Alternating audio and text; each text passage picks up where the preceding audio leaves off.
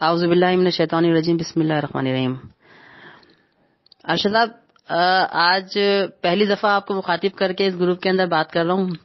وجہ اس کی یہ ہے کہ آج یہ وقت ہے کہ میں آپ کو مخاطب کر کے بات کروں۔ پورا کراچی ارشد بھائی آپ کے ساتھ کھڑا ہوا ہے۔ پورا کراچی آپ کے ساتھ ہے۔ اور یہ کراچی والوں کی ایک بڑی ہی خاصیت ہے کہ ان کے دل میں جو ہوتا ہے وہ غبار باہر نکال دیتے ہیں۔ یہ دل میں کچھ نہیں رکھتے اور کراچی پوری طرح سے میرے اور آپ کے ساتھ ہے، میرے ساتھ ہے، آپ کے ساتھ ہے، ہمارے ساتھ ہے ایم این ایم کے ساتھ ہے۔ اور کراچی والے جس طرح سے آپ سے پہلے پیار کرتے تھے، آج بھی پیار کرتے ہیں۔ میں سب لوگوں سے رابطے میں ہوں، سب لوگ میرے رابطے میں ہیں۔ صرف اور صرف دو دن چونکہ میری طبیعت شدید خراب ہو گئی تھی پرسوں رات کو، اس سے لے کے اور آج صبح تک میں لوگ اپنے دوستوں سے رابطہ نہیں کر سکا، رابطے میں نہیں آ سکا کیونکہ میں ہاسپٹل میں تھا۔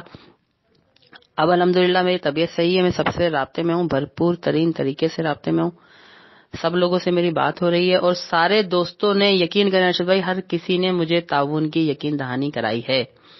اور ہر کوئی مجھ سے یہ کہہ رہا ہے کہ بھائی، آپ لوگ فکر نہیں کریں، ہم آپ کے ساتھ ہیں۔ میں یہاں پر میرے بہت سارے دوست ایسے ہیں جن کا اگر میں نام لوں گا تو پھر وہ ان کے ساتھ زیادتی ہو جائے گی، جن کا میں نام نہیں لے سکوں گا۔ تو اس لیے میں کسی کا نام نہیں لے رہا۔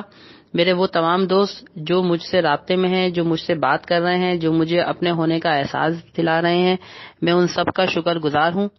ان سب کا میں شکر گزار ہوں، ان سب کا میں شکر گزار ہوں۔ اور ہم سب بے انتہا پر امید ہیں، پورا کراچی پر امید ہے۔ کچھ لوگ بالکل یس پینک پھیلا رہے ہیں اور میں اس کے اندر پینک پھیلانے والوں کے بھی مخالفت میں کچھ نہیں کہوں گا۔ میں یہ جانتا ہوں کہ یہ جو ہے سب کے پیسے ہیں بھائی اور ان سب کا رائٹ ہے۔ کہ وہ اپنا اپنے انداز میں چیزوں کو بہیو کریں بٹ میں نے پہلے بھی ریکویسٹ کری ہے، آج دوبارہ ریکویسٹ کروں گا کہ نکلنے کا جو راستہ ہے، وہ راستہ جو ہے وہ یہی ہے کہ اسپیس ملنا چاہیے اور اسپیس دیا جائے۔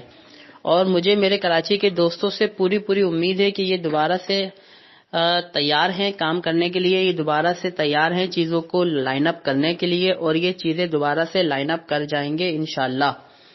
آپ بالکل بے فکر رہیں۔ انشاءاللہ آپ نے جو مارچ کے پہلے اور دوسرے ہفتے کا ٹائم ان کو دیا ہے کہ ہم اس کے اندر بیٹھیں گے اور انشاءاللہ یہ ہمارے سارے بھائی، سارے دوست ہمارے لیے حالات سازگار بنائیں گے اور انشاءاللہ شاء اللہ و تعالی ہم پھر سے بیٹھیں گے اور چیزوں کو پراپرلی مینج کر جائیں گے۔ آپ کا پلان بہت زبردست ہے۔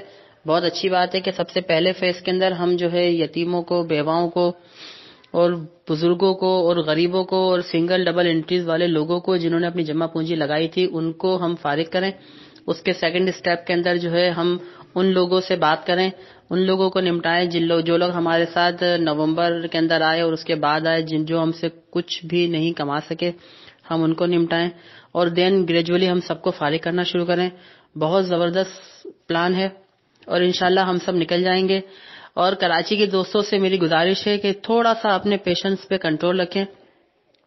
میں آپ لوگوں سے ایک بات کہتا ہوں کہ انشاءاللہ سب کا ایک ایک روپیہ ایک ایک پائی ادا کر کے جائیں گے۔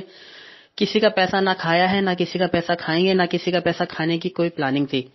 اور بات یہ ہے کہ یس کچھ چیزیں غلطی ہوئی ہیں، کچھ چیزیں غلط ہوئی ہیں، اس کے اندر ہم تھوڑا سا پھنس گئے ہیں۔ بٹ ہمارا ویژن کلیئر ہے۔ ہماری چیزیں کلیئر ہیں۔ ہم ان شاء اللہ تبارک و تعالیٰ اللہ پاک ہمیں نکال دے گا اور ہم سب کو نکال دے گا، آپ لوگوں سمیت سب کو نکال دے گا۔